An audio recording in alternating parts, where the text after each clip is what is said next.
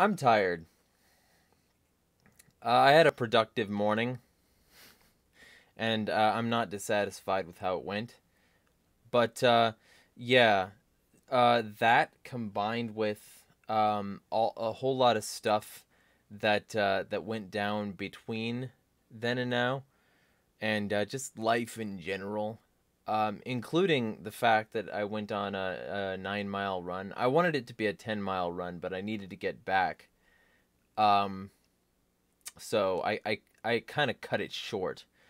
Um, but it's extremely like smoky and muggy. Um, and like you know, it reminds me a lot of L.A. And it's not L.A. It's Spokane. So like there's there's a significant amount of smog in the air, like enough to contend with. But like it's from local fires and shit. So I ran in that like nine miles. I, I cut it short um, because I needed to get back. Um, so uh, enter, you know, non brand specific blue stuff.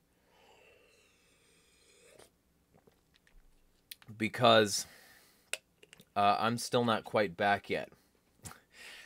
So this will probably actually be one of the short ones, and it'll be like, you know, um, 10 minutes ish. But I wanted to talk about uh, some of the stuff that uh, was said today. Um, you know, when I wasn't having a nice little exchange with with people that I'll probably be going over tomorrow about the Azov battalion uh, and the fact that there's still a problem and that there's still a Nazi problem. Um, you know, I'll probably be going over that tomorrow.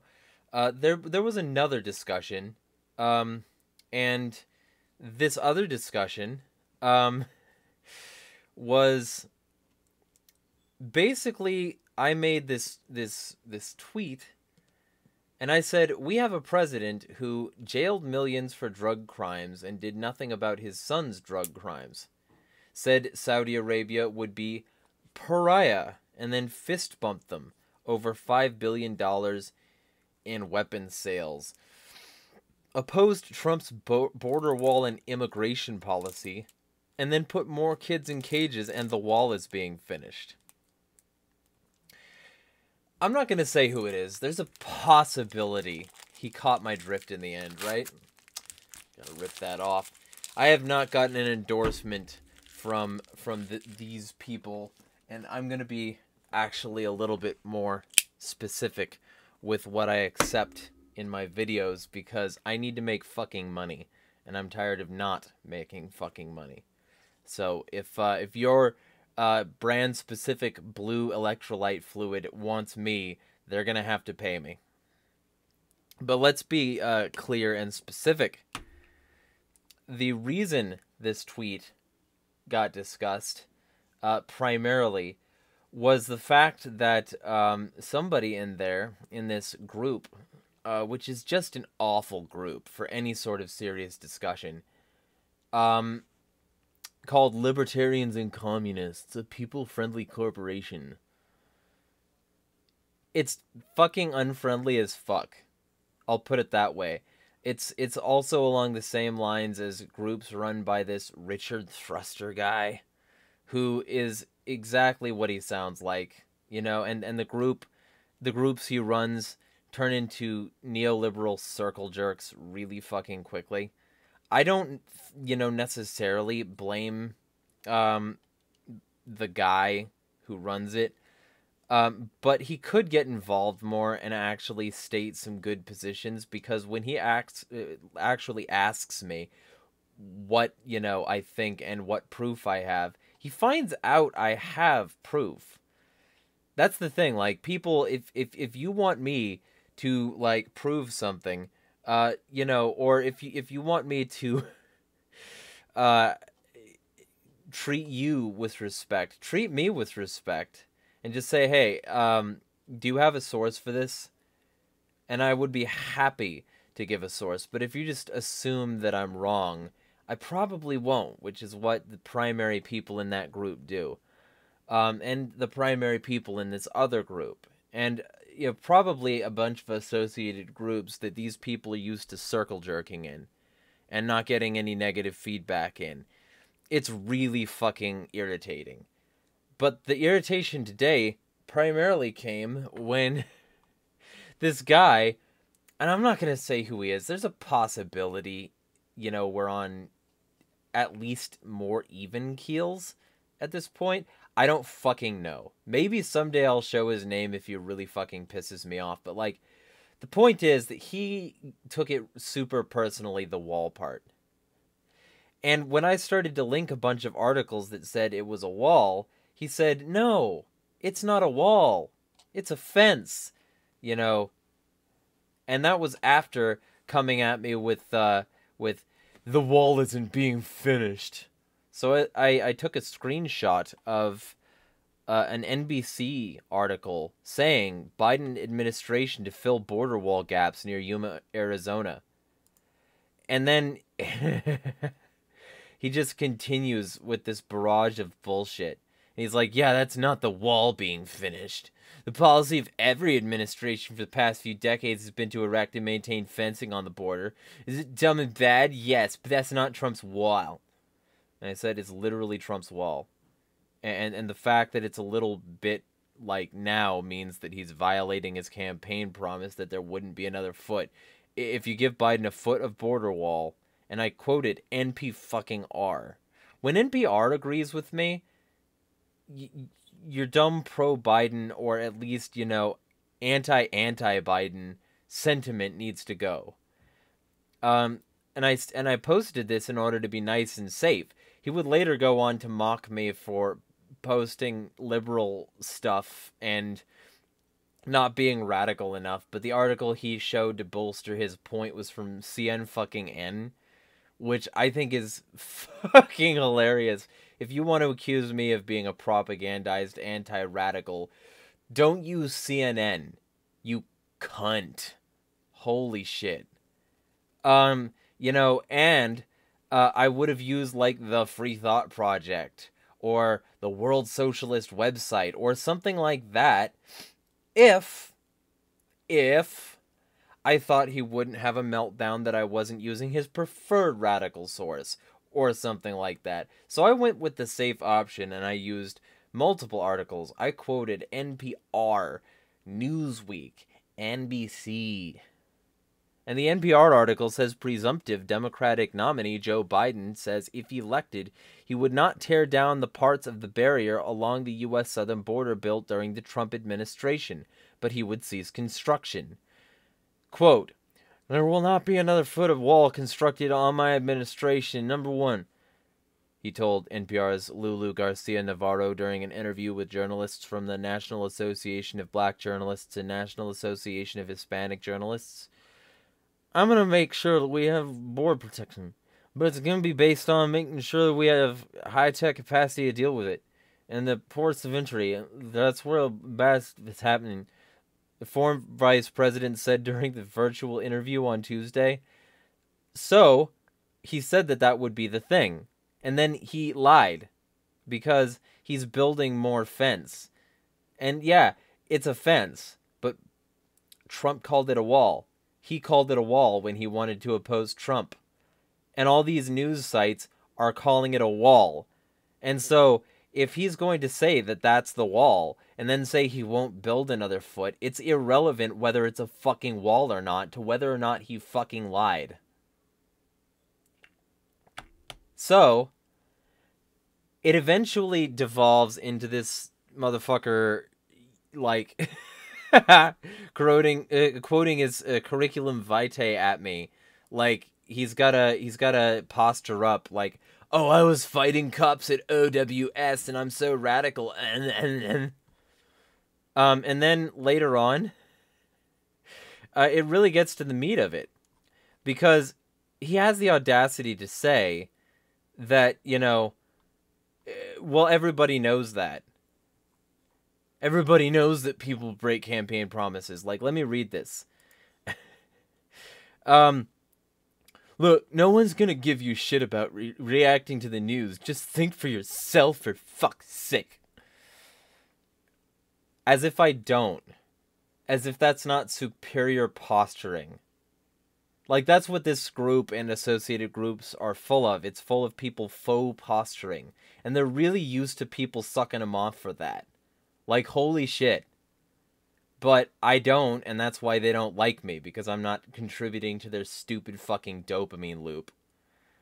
Um, and I said, I've been thinking for myself, you just want to act superior and you're defaulting to this. You can keep doing that if you want. Me, I'm at mile one on my run already. This kid, which he had called me earlier, has a youthful appearance to maintain, and part of that is self improvement rather than having radicalism contests on Facebook. And and and I posted a reel too in response to that because it's happened so much. If you want to say I'm a kid, that's fucking awesome because clearly I'm aging fucking amazingly like if I don't look my age, and I'll leave that up to the audience to guess what that is. If I don't look my age, fucking great. Awesome. I'm going to live longer than most of these people. That's probably part of their irritation. And he says, if you were thinking for yourself, you wouldn't be parroting media talking points about a wall that wasn't even relevant when it was relevant. Here's what happened. November midterms around the corner. GOP is trying to hold Biden's feet to the fire, already unfulfilled campaign promises from before COVID. You didn't notice things have changed quite a bit since then. You're ready to go after Biden at leaving many of the kids that Trump stole in cages. That's actually a huge problem, one the Democrats like ignoring. However, there's still substantial differences between Biden and Trump's approach. Biden is at least no longer purposefully stealing children in a bid to scare away new asylum seekers. There is no way Biden intends to finish the wall. The wall was a dumb symbolic issue that Trump's own staffers admitted publicly was just a way to get him to talk about infrastructure since he would only ever ramble about off the cuff about whatever he felt like, as opposing to say a message. Lots of bluster, nothing of substance. And I said, nah. Expecting people, explaining to people how much presidents lie is not antithetical to thinking for oneself. You can falsely believe it does if it gives you a sense of superiority, but you're not superior. He's like, the presidents, everyone knows presidents lie about campaign promises, and you have zero reason to care about the fence everyone keeps calling a wall. Zero reason to care. And I said, except I don't agree with the concept of borders, and this is an inroad with certain Biden supporters who might be on the fence, where I can work the conversation. Uh, uh, I think I misspelled here. Work work the conversation toward a borderless world. I don't care about this because I feel betrayed. I never supported Biden. I care because it's more government and because it's a way to help the common person see past the myth of electoral politics. When both parties serve essentially the same function and differences are routinely lied about and walked back, it's a way for me to point out the fact that people who still think you can get change by voting for people like Biden need to rethink things. One who gets to assume, uh, or, or are you the only ones? Sorry, Maybe think for yourself or something. Or are you the only one who gets to assume people don't do that? I mean, I am talking to somebody so clearly superior. I would hate to tread on your toesies. I need to correct some spelling errors, but you know, other than that and my stumbling here because I'm fucking tired, it's a relatively salient point. If you're an anarchist, one of your jobs should be to bring up that the system lies. One of your jobs should be to bring up that these establishment politicians fucking lie. And if you don't, how are you going to convince the common person that anarchy is the way forward? How are you going to prove that radicalism is necessary? How are you going to do that if you don't fucking try to track any of the reasons why people should believe you? I don't I don't believe that. I don't believe that people are just going to walk away because we, you know, like I said the other day, like we vibrated higher or we fought cops at OWS. What the fuck did OB- OWS do? What what the fuck did OWS do? like I get that they may have like rustled some jimmies for a bit, but ultimately, what the fuck did they do? Uh, things are worse now than they were then by a damn sight. Right fucking now. If you wanted to occupy Wall Street again, now is your fucking chance. Especially with the central bank digital currency coming out. Or do you OWSers not care about universal cashless money with zero privacy from you to the government? Isn't that something to fucking occupy over? Or do you not give a fuck because there are blue people in power? Holy shit. Nobody cares that you fought cops at OWS. Nobody cares about your curriculum vitae. Nobody in any authentically radical circle would rather listen to that than somebody say, hey, yeah, Biden lied about all these things and is participating in the justifying ideologies. Maybe we should do something about that and oppose him. If you want people on your side, you're going to have to prove to them that that's what's positive, that that's what's good and necessary. If you don't prove it, you have no reason to suspect that they're going to hop on pop and say, "Yeah, I'll go help you occupy. I'll get the shit beat out of me by cops for what again?" Um um um we're radicals, dude. We're totally radical. Whoa, far out, man. What are you doing now? OWS was so fucking long ago. What are you fucking doing now? All these people acting like they've got a resume and that means that they're exempt from criticism in the modern day. Holy fucking shit, shut the fuck up.